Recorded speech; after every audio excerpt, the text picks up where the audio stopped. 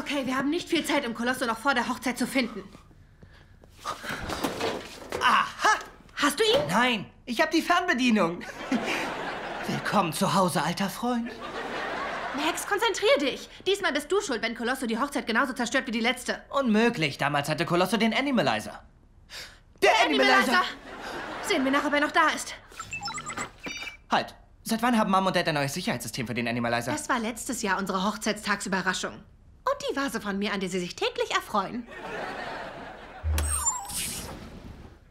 Oh, okay, gut, er ist noch nicht dran gewesen.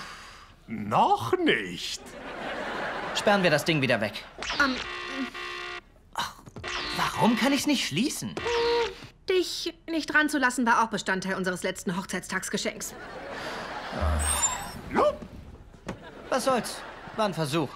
Jetzt tauen wir die Fernbedienung auf und gucken, was läuft. Aber kann ich die mal kurz sehen? Klar. Hilf mir, den Hasen zu finden! Ja! Los!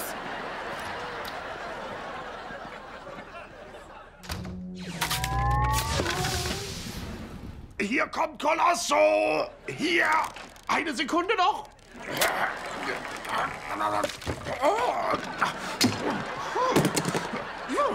Und da bin ich! Hab ich dann geschafft? Nein, zeig mir noch 50 Hampelmänner. 50? Ich dachte, du kannst nicht so weit zählen. Du widersprichst, dann machst du 52. Was macht ihr da, ihr Lieben? Daddy ist zu fett für sein Jackett. Jetzt noch. Aber nicht mehr nach den nächsten 52 Hampelmännern. Hank, es ist egal, ob dein altes Jackett von vor 20 Jahren zugeht. Ich würde dich heiraten, auch wenn du sonst was trägst. Es geht nicht um deine Liebe und deinen Beistand, Bob. Das ist ein Wettkampf zwischen mir und dem Anzug und ich werde gewinnen. Hast du nicht schon mal 10 Pfund Schweiß verloren, als du im Kampf gegen einen Superschurken so nah an der Sonne Oh, warst? das ist eine großartige Idee. Ich bin zurück, bevor wir heiraten.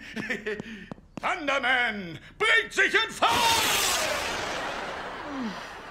Ruf mich an, wenn du einen Trainer suchst.